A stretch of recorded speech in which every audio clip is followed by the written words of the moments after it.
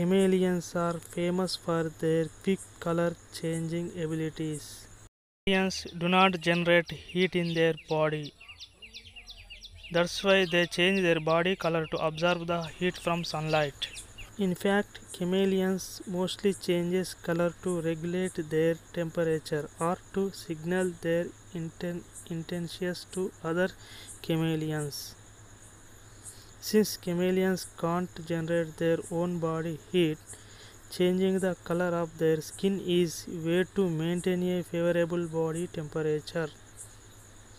A cold chameleon may become dark to absorb more heat, whereas a hotter chameleon may turn pale to reflect the sun heat. Chameleons will also use bold color change to communicate. Males become bright to signal their dominance and turn dark in aggressive encounters.